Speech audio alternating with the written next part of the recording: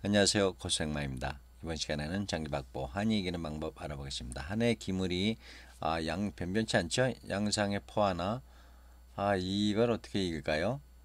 이기는 방법을 수익해 보시기 바랍니다. 기물이 변변치 않은데 이기는 지금이 딱 이길 수 있는 찬스가 왔습니다.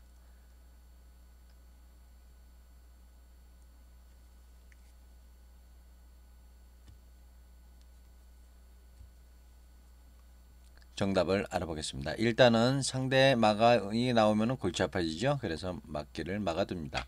그럼 상대방은 부동수죠. 자 이렇게 놓고 그 다음에는 이제 이 포가 움직여야겠죠. 이렇게 움직여서 이 자리 갑니다. 자, 이 포가 이쪽으로 오기 전에 이 포가 이쪽으로 넘어오면 안 되기 때문에 공을 내려놓습니다. 요 수소는 빠지면 안 되겠습니다. 그 다음에 포가 이쪽으로 오고요. 저 말을 잡으러 갑니다. 말을 잡고 다시 후퇴에다가 장군을 치면 외통이 되겠습니다. 알고 나면 간단하죠. 상으로 이쪽을 갖다 막아오고 이 자리 공이 내려놓고요. 왼쪽으로 넘어왔다가 말을 잡으러 갑니다. 말을 잡고 다시 후퇴했다가 다시 장군을 치면은 외통으로 이기게 되겠습니다. 이렇게 해서 한이 이기는 방법 알아봤습니다. 그러면은 다음 시간까지 안녕히 계십시오. 감사합니다.